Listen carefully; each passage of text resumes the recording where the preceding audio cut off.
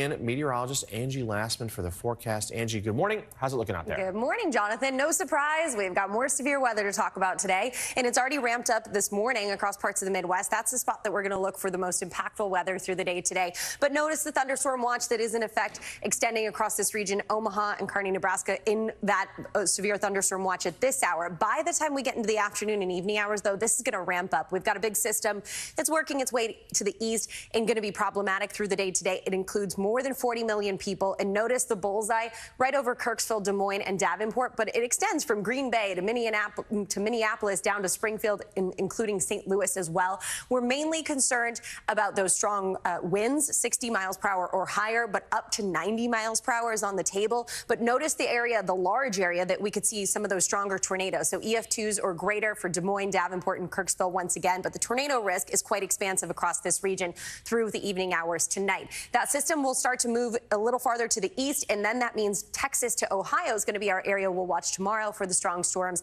to develop. And all of those same kind of impacts will be on the table, but the bullseye will be Dallas to Little Rock, including Memphis and points north of that. Uh, the hail risk will also be there two inches in diameter or higher. On top of that, of course, we've got the heavy rain too, and, and we've got these flood watches already up.